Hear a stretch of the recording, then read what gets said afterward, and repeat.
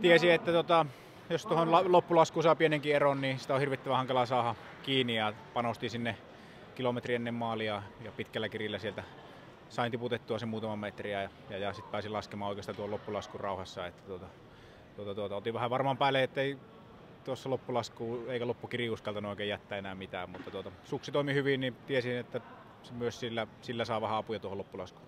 Niina Virtanen! No mä koitin vaan roikkuu miesten perässä mahdollisimman pitkään.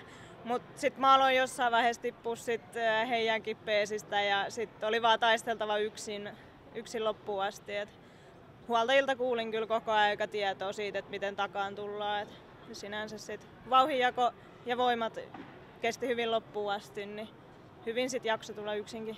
Experience is, uh, is a nice uh, competition. Yeah. Uh, first time I was, it's very, very, very, very cold.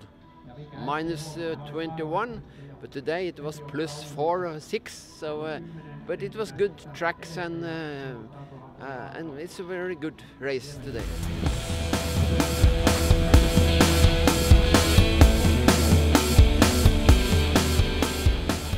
How about the whole event? How it's how it's been organized and everything like that? Organizing very good, very good. Uh, you come here and uh, before the race, you have been taken good care of. Yeah. Yes. How about next year? Will you will you be here? Yes, I will be here next year. That will be my third. So I will be here next year.